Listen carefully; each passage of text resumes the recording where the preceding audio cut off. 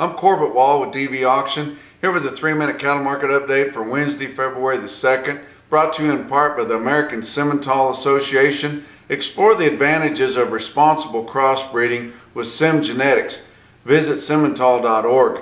Uh, leveling out so far this week, uh, really uh, the market's kind of looking for a direction. Uh, there's pretty good reason for it to go either way, but we've had kind of a two-week rally here and it's been pretty good. So far this week, live cattle futures, April contract was down a quarter on Monday, up 12 cents on Tuesday to end the day at 137.10. March feeder cattle, Monday was down 50 cents and Tuesday down a dime, which is the same as, as nothing, same as unchanged really in today's times, but ended the day on Tuesday at 158.05. We had a huge fed cattle trade last week on a negotiated cash basis really uh, is, is making this market strong. These packers haven't promised as many cattle or captive supplies to these packers as they normally do, which has brought about some pretty uh, active trade so far this calendar year and has, and has propped up this market. In the five area feeding region there, 109,600 head this past week. Compare that to the previous week was 66,300 and the same week a year ago was 69,100 but uh, just a good healthy negotiated cash market which is a great thing to see. Live steers average 136.02 that was up $2.39 from the previous week. Dress steers 213.21 up $3.39 but uh, we've got some near-term bullishness here.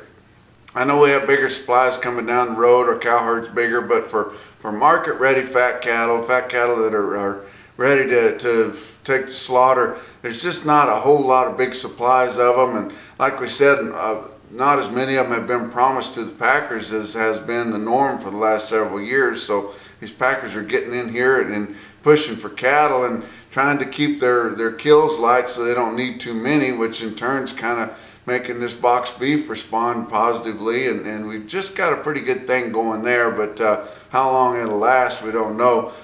There is some long-term fear out there. For you guys that are putting uh, stocker cattle together to turn out on grass uh, this this spring and, and to run this summer you probably want to have some protection there either have those things contracted for fall delivery or late summer delivery or, or get you some puts bought or do something it's just looking like it could get dry. And a lot of times when we wind up this El Nino deal, it does get dry. And when it does, uh, you know, we've been rocking along here with cheap feed and, and cheaper inputs uh, progressively for a long time. And we saw how, how quick the market nosedived there at the end of last year whenever uh, really we didn't have any reason for it to other than the, the investment funds wanted to get out of the market.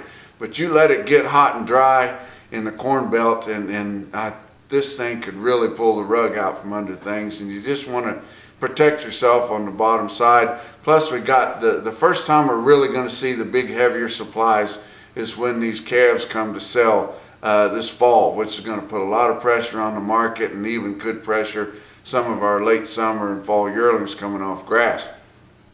Uh, look at your cash feeders this week. Oklahoma City at 9,600 head. Uh, steers steady to $2 higher. Heifers 2 to $6 higher. Joplin uh, Regional Stockyards there in Carthage, Missouri had 5,200 head on Monday. Steady to $4 higher for most uh, steers and heifers, calves and yearlings both, with some light steers from 3 to $7 higher. Look at Cattle Market Central there and an individual quote. Loup City, Nebraska, which is a partner with DV Auction there, had 137 head Tuesday evening just after 5 o'clock, weighed 751 pounds at 161. That's three minutes. We'll talk to you on Friday.